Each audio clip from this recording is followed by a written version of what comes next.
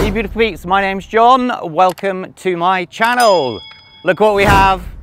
Look where we are. We're at the speedrun area. This should be exciting. Yes, this once used to be nitro, now it's electric. I'm very happy with the way it's turned out. I'm not worried about the electronics, I'm not worried about the drivetrain. The only thing that's concerning me is the glue on the wheels. I've used the glue that I've used all the way along, but for some reason I just think that that could be a weak point today. Now, I need to update you on a couple of things. I put some of this uh, tape on the inside. This is deliberate, so if I do crash, maybe it won't completely shatter. I think it will. Uh, also, underneath here, as you can see, there was a repair that had to be done. That was to, no, wait, underneath there. There was a repair that was done to hold the front wing in. And last but not least, that here is just to hold the rear wing because it was a little bit too flexible. So if you just have a quick look at the car, and then we will get this up and running. We have no idea what speed it's gonna do, but the GPS meter is here, and currently we are just running the 2S battery. It can take 4S, but let's start with 2S just now. So, this is the electric Red Bull RB7 F1 car, and you're watching John Robinson RC. Okay, ladies and gents, let's see if it blows up instantly, shall we?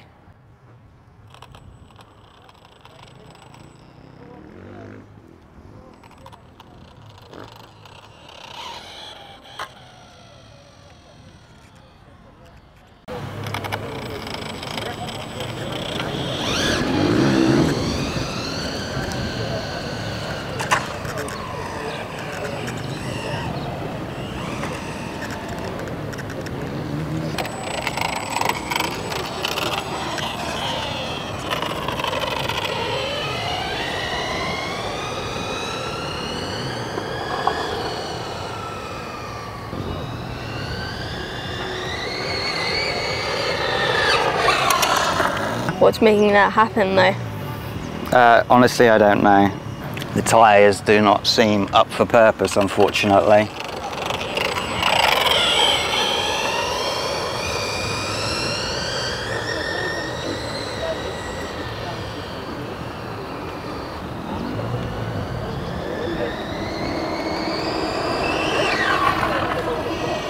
That's as soon as I go to sort of 25% throttle, it's spinning.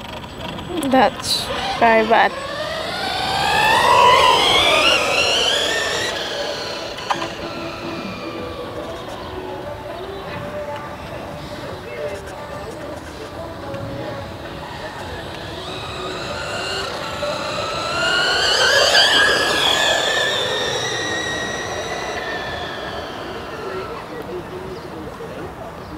Uh, okay, well, update. It's not as good as what I was hoping. As soon as I'm getting to 25% throttle, that's going at the main or the top speed that we've had so far. It's just sliding, the back end's just going around and I have the gyro set to around 50%. If I have it set higher than that, the car starts to wiggle. So I can't adjust that, but the gyro, the whole point of it is that as the car slides, it's supposed to catch the side and it's just not doing it. Hello. Um, and now I'm gonna have to get some foams for this because the tires are just too slippery. I mean, we will continue to run here, but we've just walked down because I lost all control, but now I have control back and this is a 8.1 volts. It started at nine and it can go down to six before it stops working. So why that has stopped working, I do not know.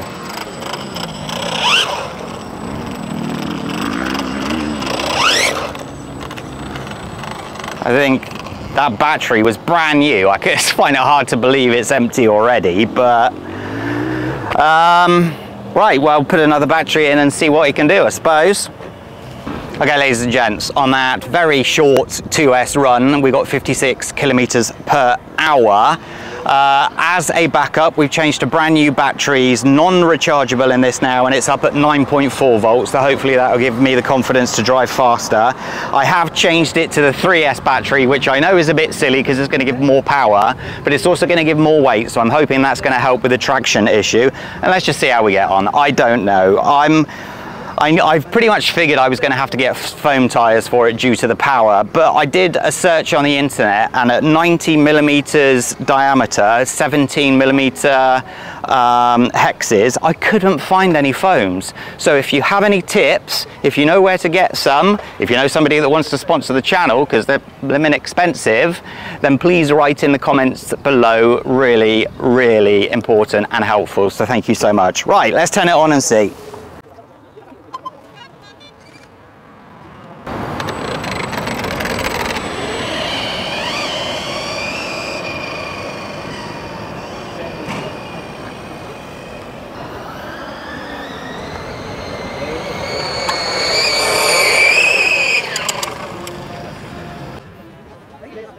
That was 10% throttle.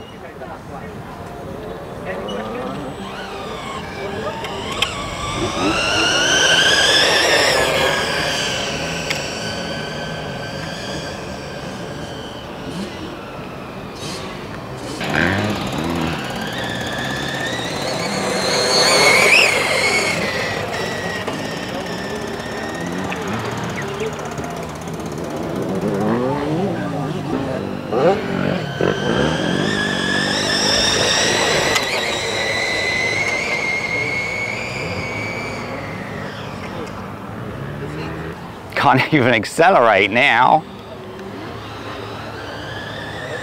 Right, let's try the gyro setting, see if I increase it a little bit, if it helps.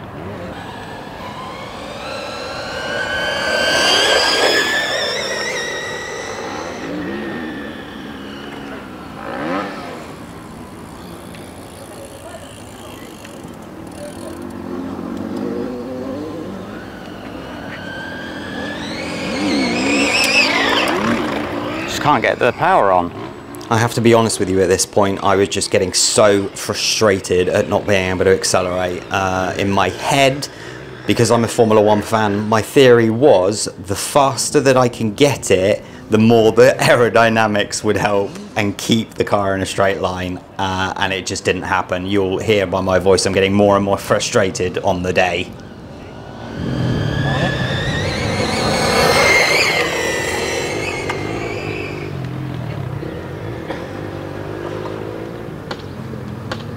This, this is impossible.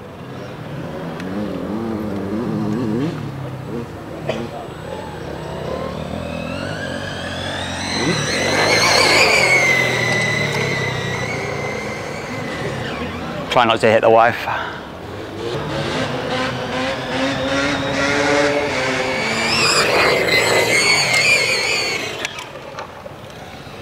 I think I'm gonna have to call it, Colin, don't you? Yeah.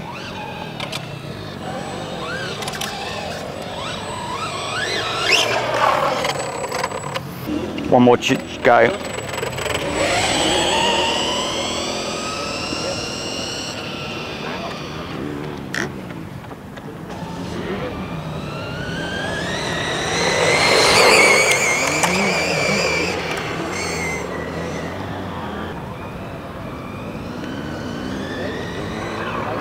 Oh, this is so frustrating.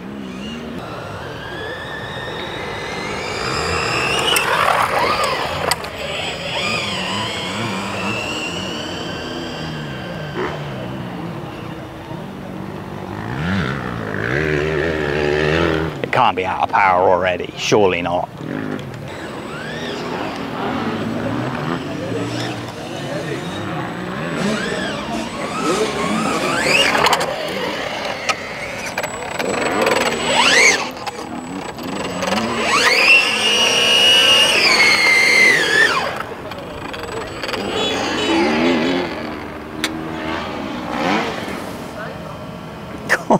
Tyres are warm.